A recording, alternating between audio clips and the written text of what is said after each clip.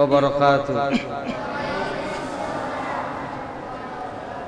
نحمده ونصلي على رسوله الكريم. أما بعد فأعوذ بالله من الشيطان الرجيم. بسم الله الرحمن الرحيم. رب هب لي من الصالحين.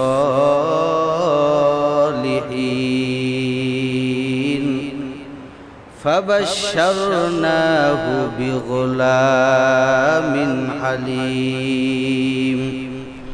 صدق الله مولانا العظيم. وصدق رسوله النبي الكريم. ونحن على ذلك من الشاهدين والشاكرين.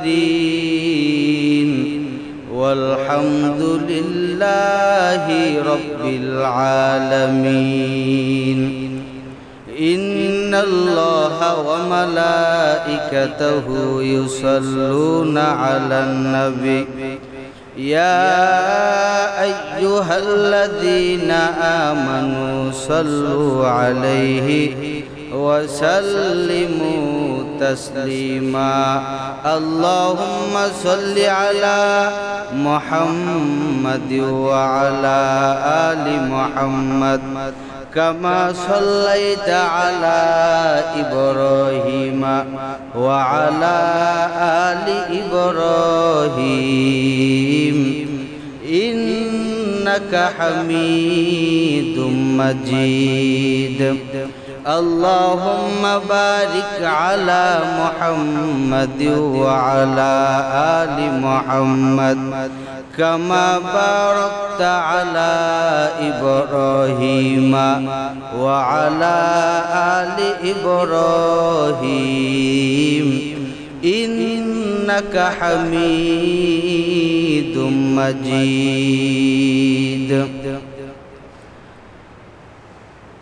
तकबीर में कलमा में नमाजू में अजा में तकबीर में कलमा में नमाजू में अजा में अय नाम इलाही से मिला नाम मोहम्मद। अय नाम इलाही से मिला नाम मोहम्मद। الفت میں برابر ہے وفا ہو کی زفا ہو۔ الفت میں برابر ہے وفا ہو کی زفا ہو۔ ہر چیز میں لجت ہو اگر دل میں مزہ ہو۔ ہر چیز میں لجت ہو اگر دل میں مزہ ہو۔ الحمدللہ۔ মহান রব্বুল আলমিন অত্যন্ত দয়াময়, দয়া করে মহাব্বত করে ভালোবেসে। আজকে আমাকে আপনাদেরকে দুনিয়ার কাজকর্ম থেকে বিরত রেখে আজকে আল্লাহর ঘরে আসার, বসার তৌফিক যে রব্বুল আলমিন দান করেছেন তাই শুকুর আদায়তে বলি, আলহামদুলিল্লাহ। আজকে জিলকদ মাসের সম্ভবত সাতাইশ তারিখ সামনে আমাদের বিশাল একটি পরীক্ষার দিন আসতেছে যেটা হলো কুরবানির দিন। কিসের দিন? কুরবানির কুরবানি করা কি ফরজ না ওয়াজিব? কুরবানি করা ফরজ নাকি ওয়াজিব? ওয়াজিব? কুরবানি করা কি? ওয়াজিব। সবার উপরে নাকি যার মধ্যে নেচাব পরিমাণ মাল আছে তার উপরে। সবার উপরে কিন্তু কুরবানি করা কি না?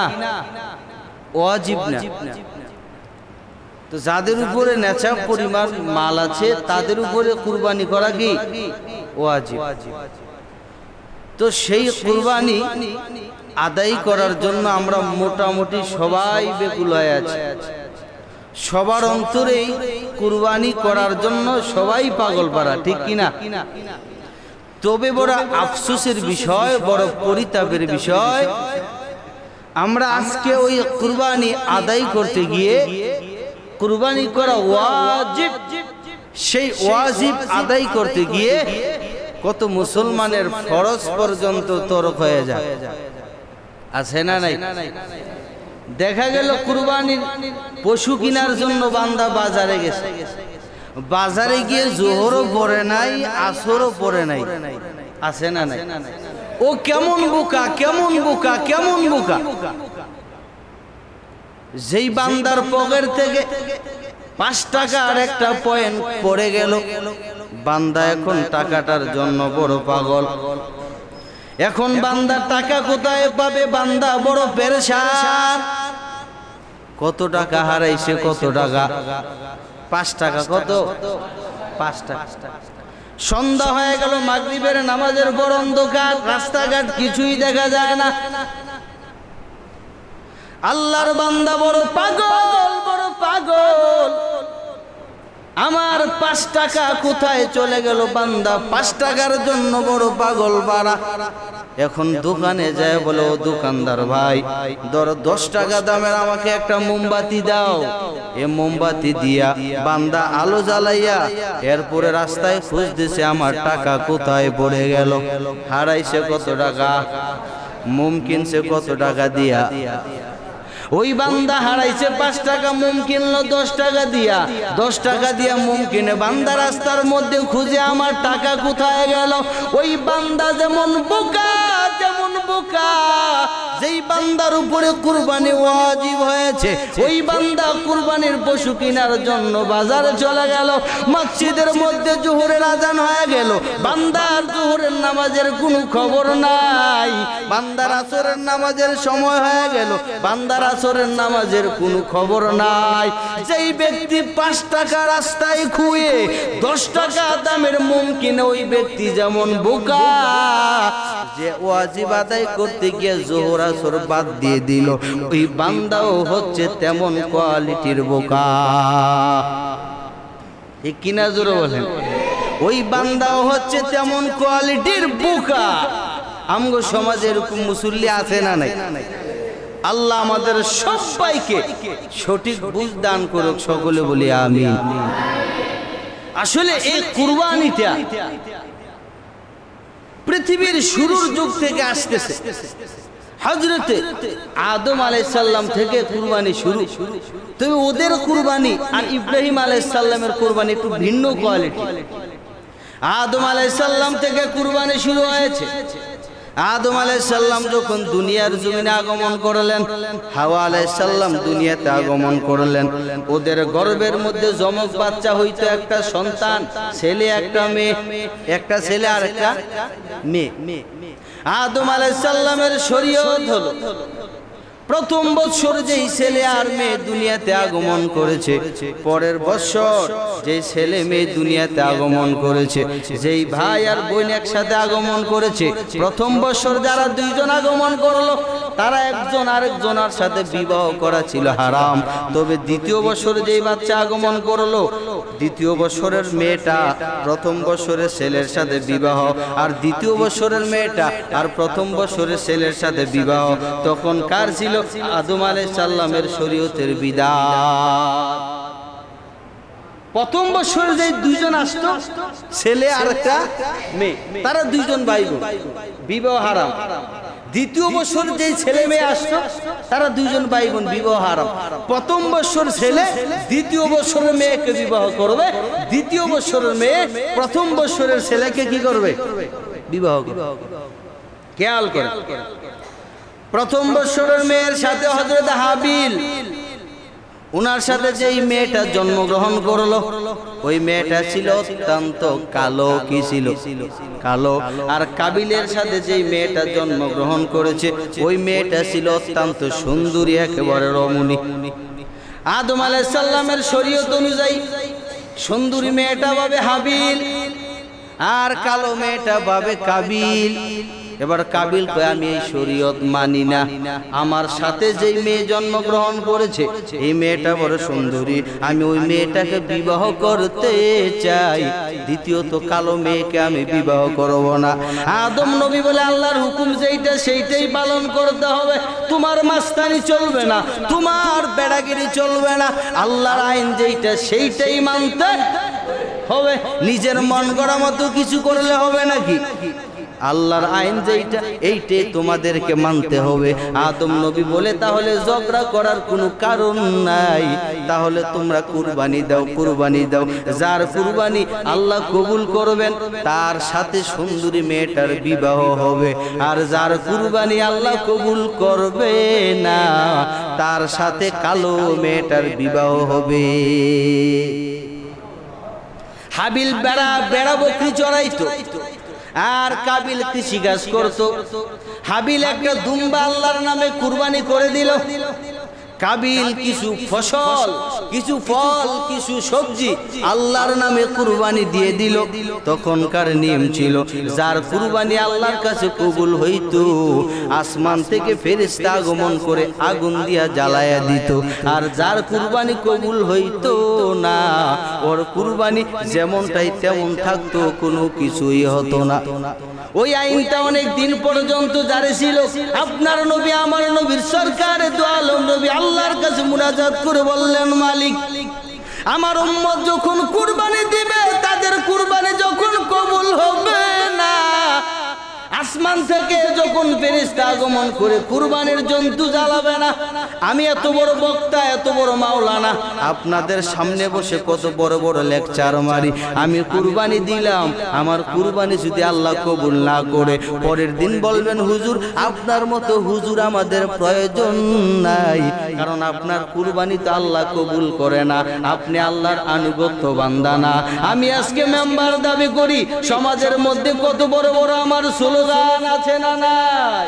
আমি আজকে বড় বড় স্লোগান মানি। আমি হয়ে যদি কুরবানি আদায় করি, আসমান থেকে ফেরিস্তা আগমন করে যদি কুরবানির জন্তু না জ্বালায়, তাহলে মানুষ বলবে, আপনি কিসের মেম্বার? আপনি আল্লাহর কাছে বড় একটা গুণাগার আপনার কুরবানি কবুল হয় নাই।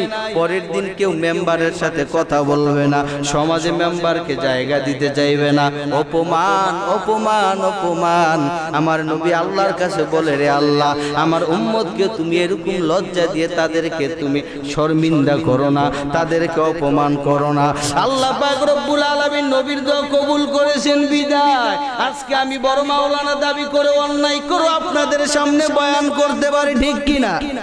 আজকে আমি বড় বড় কথা বলতে পারি, এত অন্যায় করার পরেও আজকে সমাজের কর্ণদার দাবি করা, অথচ বান্দার জীবনে এমন কোন গুণা নাই যে গুণা বান্দা করে নাই। আমার নবীর দোয়া যদি আল্লাহ কবুল না করতো, তাহলে সমাজে বড় বড় লেকচার দেওয়ার সুযোগ থাকতো না। আজকে আমরা এত গুণার পরেও এত সুন্দর কথা বলতে পারি, একমাত্র আমার নবীর দোয়ার ছিলায় নবীর দোয়া যদি কবুল হইতো, কি অবস্থা? তাহলে কুরবানি দিল সর্বপ্রথম হাবিলার আসমান থেকে ফেরেশতা আগমন করে হাবিলের কুরবানিকে জ্বালায় দিল। প্রমাণ হয়ে গেল হাবিলের কুরবানি আল্লাহর কাছে কবুল হয়েছে। কাবিলের কুরবানি আল্লাহর কাছে কবুল হয় নাই।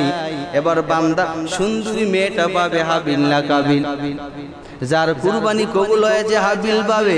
এবার কাবিলের মেজাজটা গরম হয়ে গেল। কাবিল বলে, আমি এটা মানি না, আমি তোকে হত্যা করব। কি করব?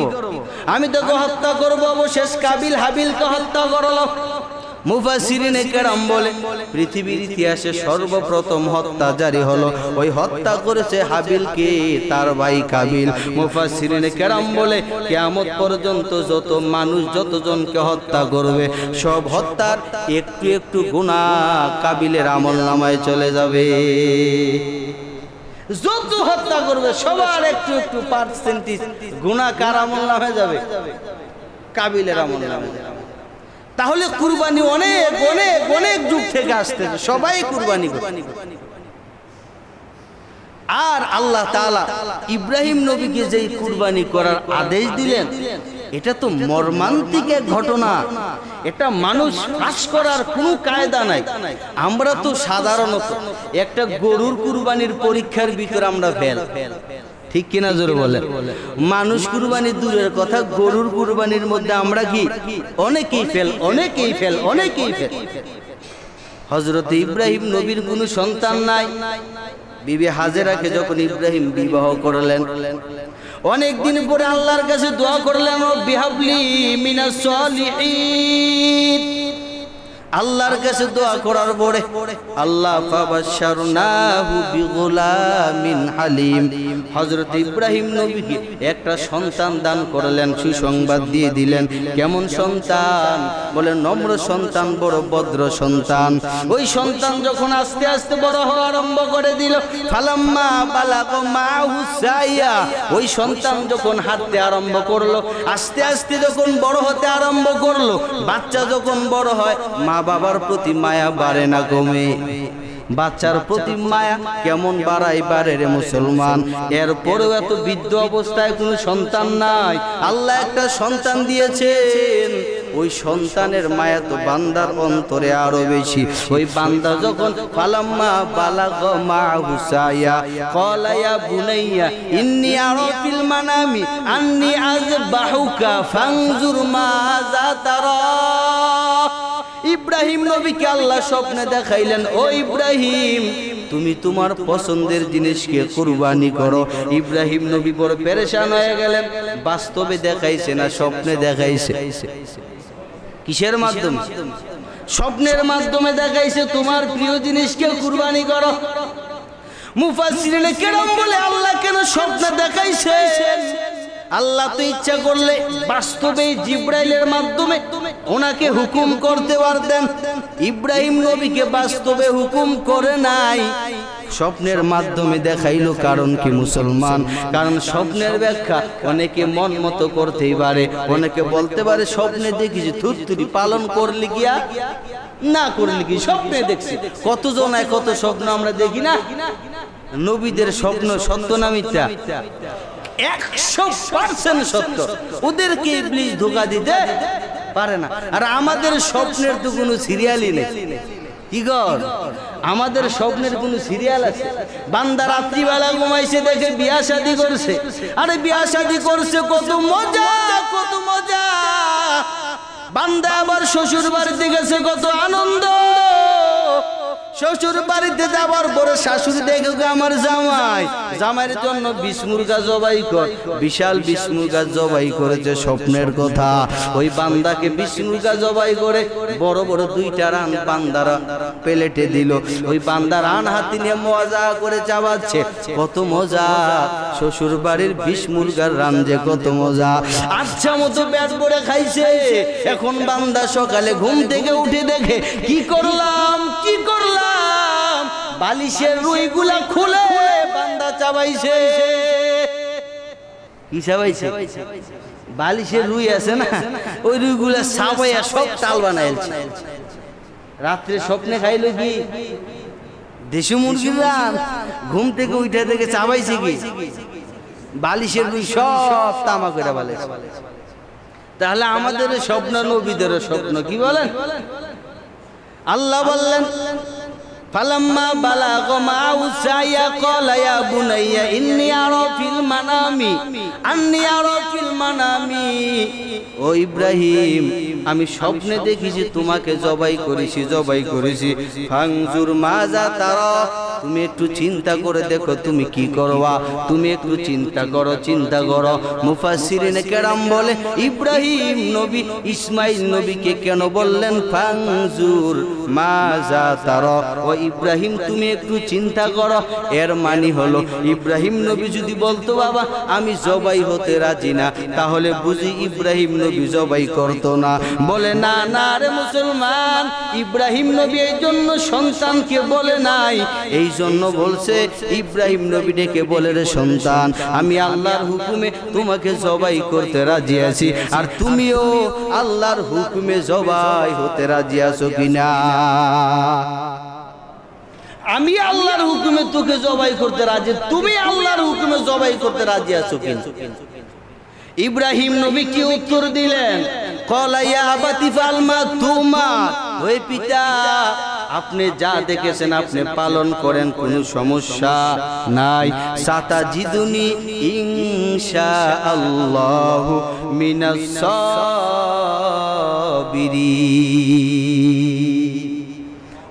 পিতা আপনি কোনো টেনশন করবেন না। আপনাকে যে আদেশ করা হয়েছে, আপনি তা পালন করেন। কোনো সমস্যা নাই। সাতা জিদুনি ইনশা আল্লাহু মিনাস সাবিরিন।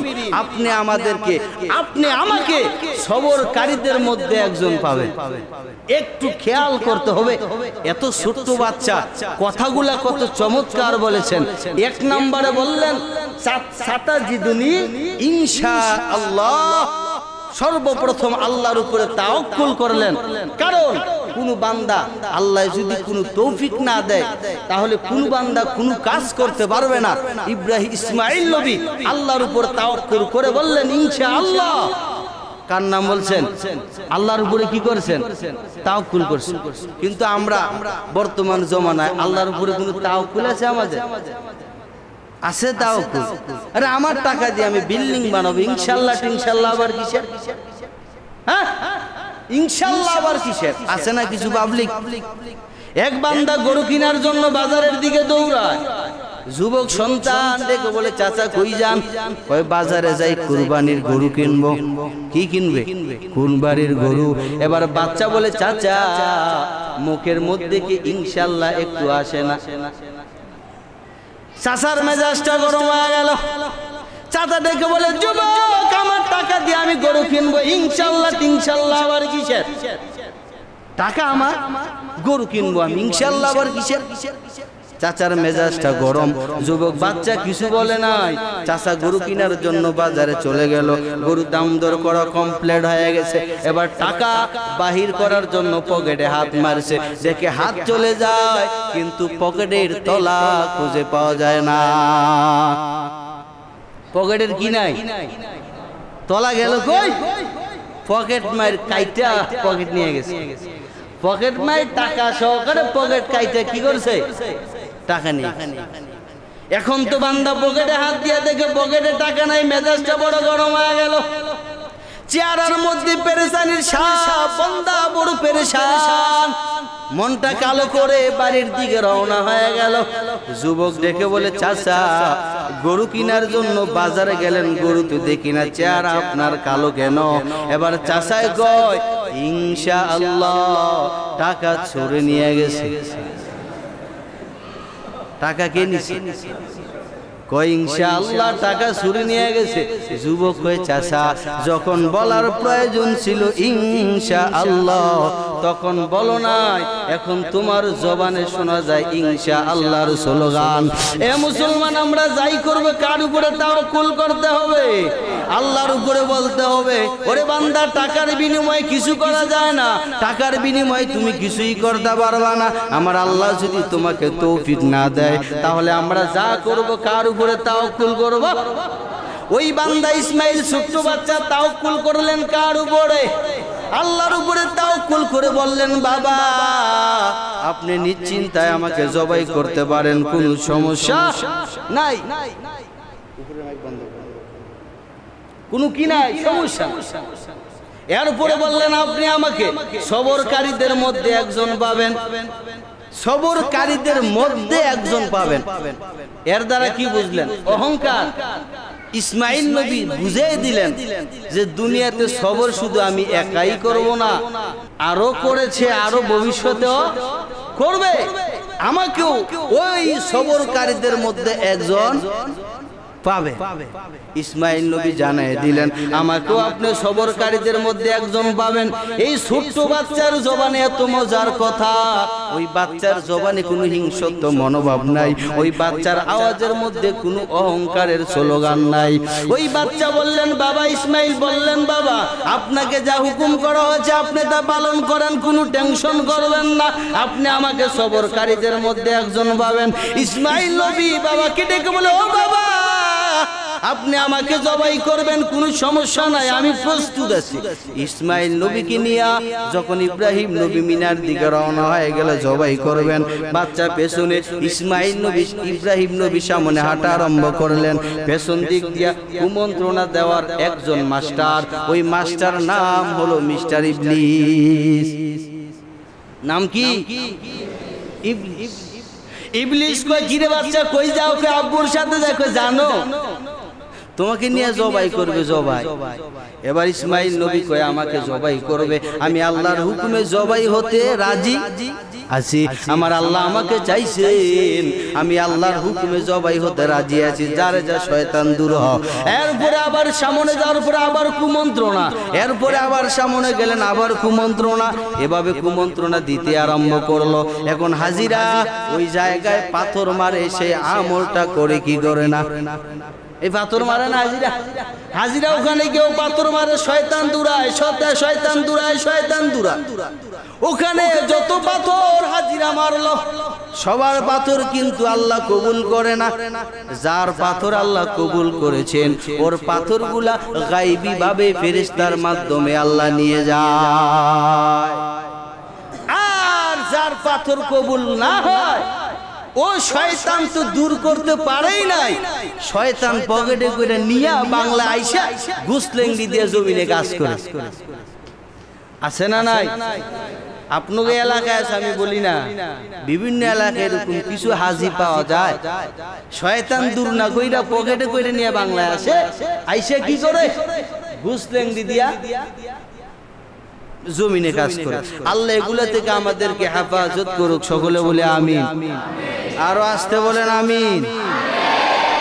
তাহলে হজরত ইব্রাহিম নবী সন্তানকে জবাই করার জন্য পাগল হয়ে গেলেন কার জন্য? আমরা কুরবানি করব কার জন্য? আমরা কুরবানি করব কার জন্য? এখন যেই বান্দা বলে, আমার সন্তান কুরবানির দিন গুস্ত, কার কাছে খাবে?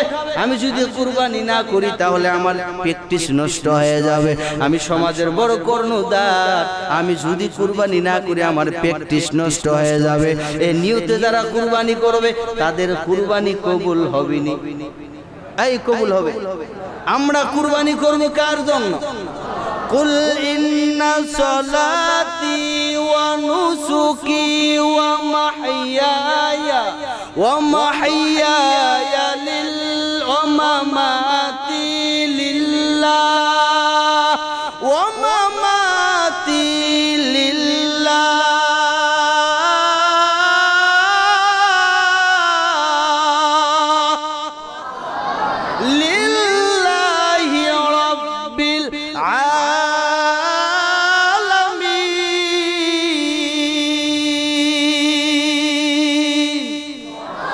সব হবে কার জন্য? আমার নামাজ আমার হজ আমার কুরবানি আমার সব হবে কার জন্য? ওই বান্দা যদি আল্লাহর জন্য করে আল্লাহর জন্য কুরবানি করে ওই বান্দার পশুর রক্তটা জমিনে পড়ার আগে ওই বান্দার কুরবানি আল্লাহর কাছে কবুল হয়ে যায়। কেমন সব কেমন সব? কয় পশুর গায়ে যত পশম আছে, প্রত্যেকটা পশমের বিনিময়ে একটা করে নেক দেওয়া হবে। কয়টা করে নেক দেওয়া হবে? এখন বলতে পারেন, হুজুর, আমার তো টাকা নাই, আমি কুরবানি দিতে পারব না, তাহলে কি আমি সব পাবো না? আমার নবী কত মজার ব্যবস্থা করলেন, আমার আল্লাহ কত দয়ার। আমার আল্লাহ কইরে বান্দা, জিল হজ মাসের চন্দ্র ওঠার আগে তুমি তোমার হাতের নখ, তুমি মাথার চুল, তোমার যত অঙ্গ পতঙ্গের যেগুলা কাটার বিষয়, ওগুলা তুমি পরিষ্কার করে নাও। চাঁদ ওঠার পরে তুমি আর এগুলার মধ্যে হাত দিবা না। ওই কুরবানির দিন যদি তুমি এগুলা কাটাকাটি করো, যেই বান্দা কুরবানি দেওয়ার মতো টাকা নাই, ওই বান্দাকে আল্লাহ কুরবানির সব দিয়ে দিবে। সব থেকে মাহরুম কেউ হবে? এখন আপনার সন্তান ছোট বাচ্চা, তার উপরে কুরবানি ওয়াজিব ওই বাচ্চার উপরে কুরবানি ওয়াজিব না। এখন যদি আপনি বাচ্চার নখগুলা চাঁদ ওঠার আগে কেটে দেন, চুলগুলা কেটে দেন ওই বাচ্চার নখ আর চুলগুলো যদি আপনি কুরবানির দিন কাটেন ওই বান্দা একটা হজে একটা কুরবানির সব বান্দা পেয়ে যাবে। ওরে মুসলমান, আজকে তুমি বাবা হইয়া যদি সেই কাজটা না করো ছোট মাসুম বাচ্চা, ওর যে একটা সব পাওয়ার রাস্তা ছিল, তুমি পিতা হইয়া তার সবের রাস্তাটা বন্ধ করে দিলা।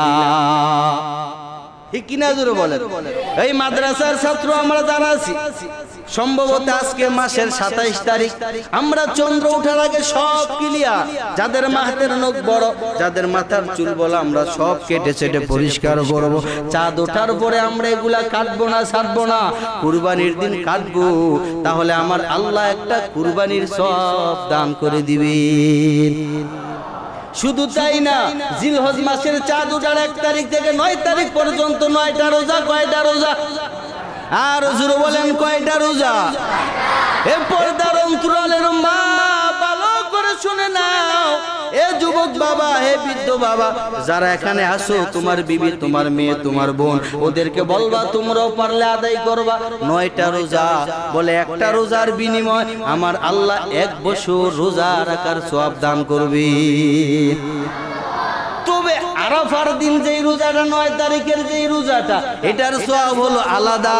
ওই রোজার আরও একটু বেশি ফজিলত। ওই নয় তারিখের রোজা যদি কোনো বান্দা রাখে, তাহলে ওই বান্দার আগের এবং পরের এক বছরের গুনাহ আল্লাহ মাফ করে দিবেন পূর্বের এবং ভবিষ্যতের এক বছরের গোনা মাফ করে দিবে তিরমিজি শরীফের হাদিস। তাহলে এই সবগুলোকে আমরা পাইতে রাজি না?